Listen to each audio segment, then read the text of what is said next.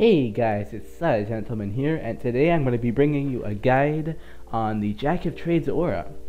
This, I'm going to show you the fastest way to get the XP from it, how it works, where to obtain it, how much it costs, everything you need to know. Okay, so the Jack of Trades Aura, it requires 15 loyalty points to buy, it has a 24 hour recharge time, it gives you 10, uh, 5 to 10k XP every day, and uh, you're able to use it for three hours.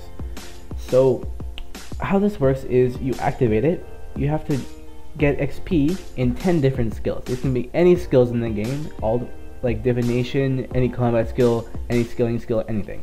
So you activate it, you do 10 skills, and then you deactivate it, remove the aura, and then you go to Xuan for um, the XP book and then you uh, use this XP book on the skill of your choice to get 5 to 10k XP depending on your level. Alright, so the items you're going to need to do this the fastest possible are these items here. You're going to need the, the aura of course, you're going to need the Bandos God Sword or any weapon, any melee weapon, you're going to use a grimy Marrentill or whatever herb you want, and then a bronze hatchet, tinderbox, and a knife if you don't already have them in your tool belt. So the first things first, you're gonna go to you see the uh, this the um, the three balls.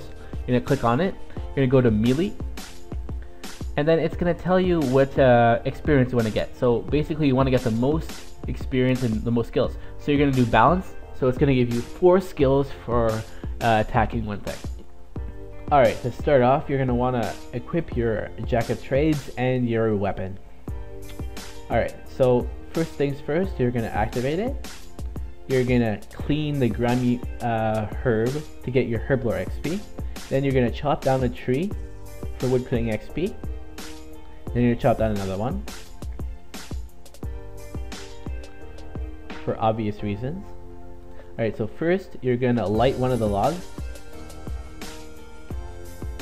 Then you're gonna craft the other one with your knife. And you're gonna make a shield bow. Then you're gonna run north you are going to pickpocket a guard. You're gonna kill that guard.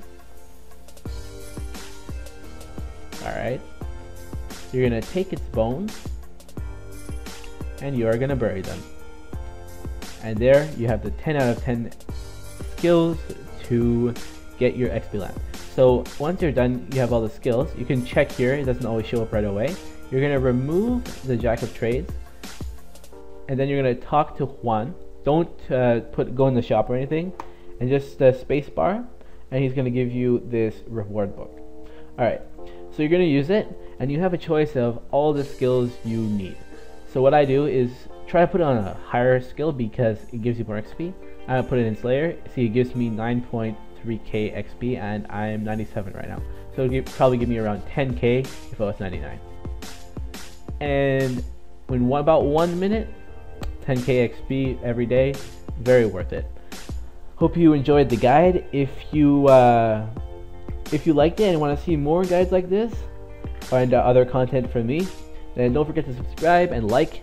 And if you have anything to say, any comments, then just post it below. I I'll read all of them, but I'm having a glitch with my channel for uh, I'm not able to post any comments and replies to your you guys uh, your guys comments. So I'm gonna try to work that out and then I'll start answering you. So uh, yeah, that's it for the guide. I hope you enjoyed it and uh, have a great day.